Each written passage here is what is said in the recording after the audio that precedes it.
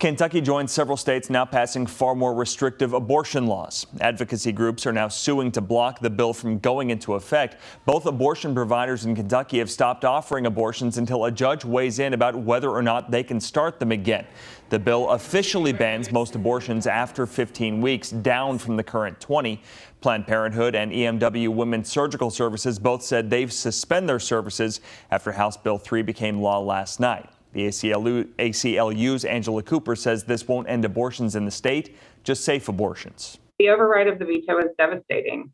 Um, this isn't going to stop abortions from happening. This will stop safe abortions from happening. These are decisions that should be left up to individuals and their families and their healthcare providers.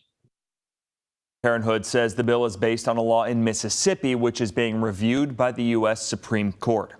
And in Florida, Governor Ron DeSantis signed a bill that puts heavy restrictions on abortion, similar to Kentucky's. The law bans abortions after 15 weeks of pregnancy without exemptions for rape, incest, or human trafficking. It does allow exemptions if the pregnancy is a serious risk to the mother or if a fatal fetal abnormality is detected, if two physicians confirm the diagnosis in writing. Previously, Florida allowed abortions through the second trimester, making it one of the most lenient southeastern states for abortion. That bill goes into effect on July 1st.